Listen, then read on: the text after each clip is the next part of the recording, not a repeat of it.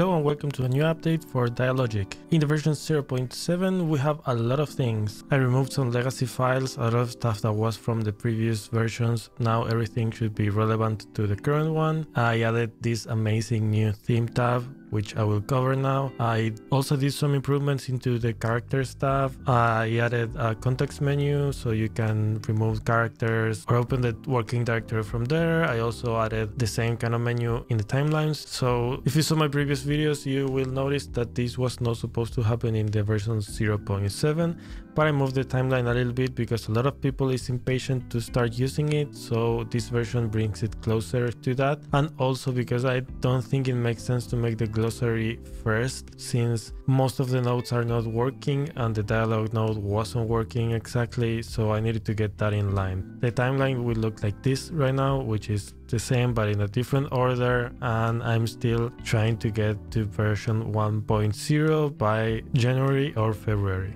Let's open the Dialogic tab and now you will see we have this new icon over here which is the theme which will have all the options available for you to use. Right now it's a little bit limited but I will keep adding stuff here so you can modify more stuff. The first option would be the font, which you can pick one of the TRES files, which you can generate in Godot. You can also change the color. Let's say you want the color to be green for some reason.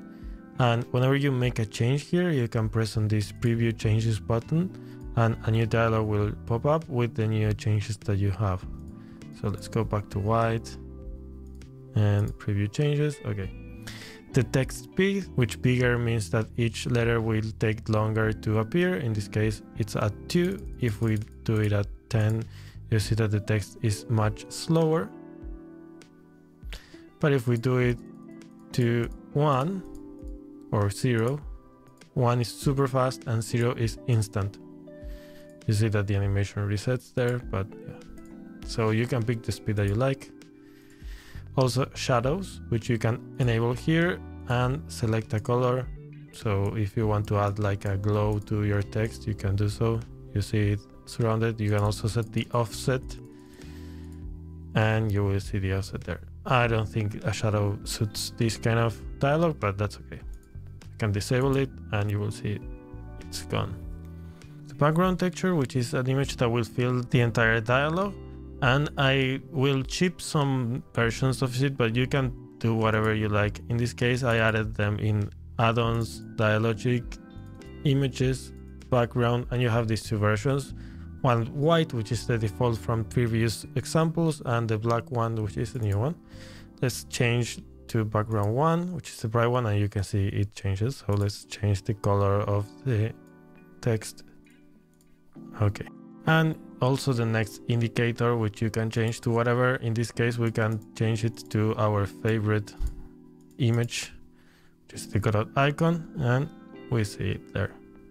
Next up is the box padding which is the space between the text and the box. In this case let's go back to zero so you can see how it will look like. You see the text is very close to that so if your images need some extra spacing you can change it here. This is vertical space so only on top and then horizontal space only on the sides.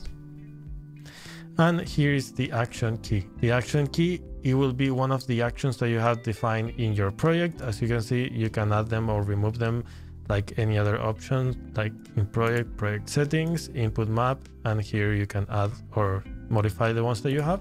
In this case let's go with UI right, for instance, and whenever you press right, it will go to the next text or close. And last thing you can see, this is the preview text. Uh, this is how you would write inside your Dialogic text events, and you can add whatever you like to this box, and it will show up here. It's only for preview, so you don't need to worry about this one too much. Next thing is that right now in a custom scene, I created one here you can add this dialog now.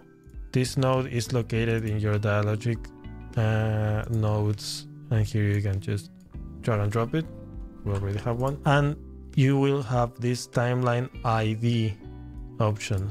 So you can get any timeline ID by going to your dialogic timelines.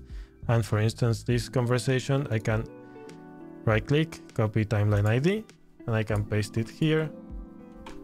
I will improve this, okay? This is not the final version, remember. But lot of people was asking me, hey, when are we gonna have that? So yeah, here you have a very basic version of it.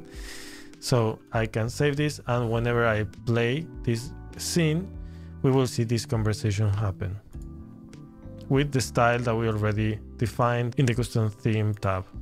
And pressing right goes to the next one and that's it. So right now the only event that is properly implemented is the text event.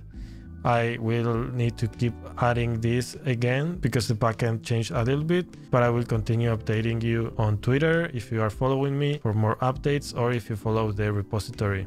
Before the release 0.7, I used to work in a different branch, so I would have all the changes going there and then release it whenever I had a video. But right now, I think it makes more sense to just keep pushing to master.